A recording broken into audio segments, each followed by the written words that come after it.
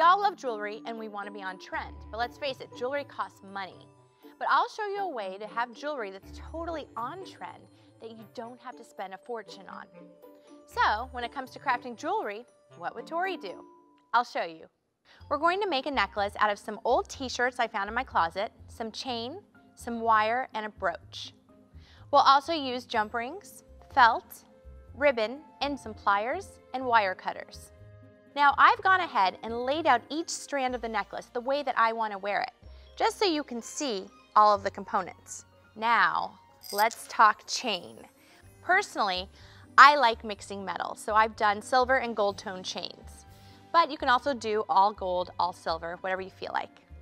I wanted the necklace to have a nice tiered look, kind of like the look you create when you layer a bunch of necklaces at different lengths. The problem with doing that is they all get tangled. So this way, I've taken the messiness out of it and you have an awesome necklace. I cut the chain into different lengths, like you see here.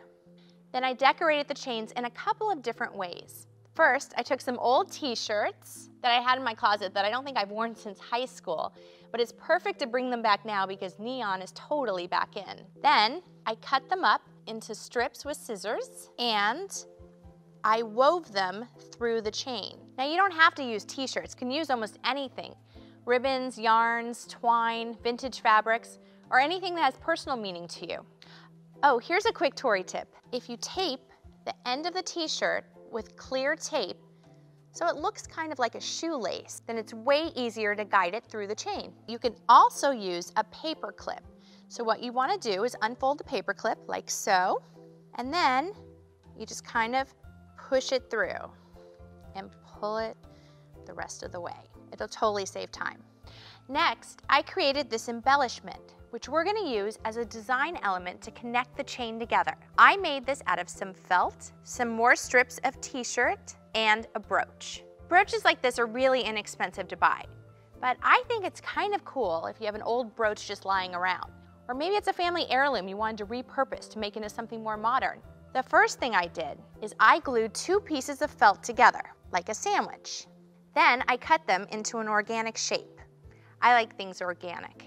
I attached a scrapbooking eyelet to the top of the felt, which is what we'll use to attach this to our chain when we put everything together. Then I added all my details, the fun part. First, I took t-shirt strips and I made a rosette. In a circular motion, you just wanna twist and fold the rosette. Twist and fold, kind of like you're spinning a wheel. Periodically, you'll want to glue the fabric down. Then I stuck the rosettes to the felt with a hot glue gun. Next, you would want to pin on your brooch. If your brooch is broken, don't worry about it, because you can glue it or you can even sew it. Now, here's the cool Tori trick. This looks beautiful just the way it is. But if you want it maybe a colored brooch, you don't have to go buy one. I found that you can take nail polish and you just paint one coat on the clear rhinestone, like this. And when it dries, you get a totally cool pop of color. Love that. Now it's time to put the necklace together. And this is super easy. I'm telling you, anyone can do it.